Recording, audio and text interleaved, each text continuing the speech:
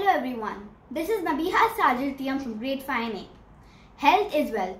We all know that, right? But the question is, how to maintain a healthy diet during school hours?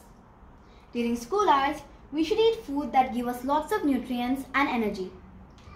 We should have more of whole grain food and avoid processed food. We can carry protein enriched food in our tiffin box like boiled egg, cheese sandwich, yogurt and green mung salad. And trust me, green mung salad is super delicious. We should actually eat more of fresh fruits or even dry fruits during school hours because they give us an instant energy and strength. It helps us to it improves our memory and helps us to concentrate well in our class. It also gives us energy to play in the green field and the play area of our school. So we as students should give utmost priority to our health and always eat healthy, even when we are at school and when our parents are not around. Thank you.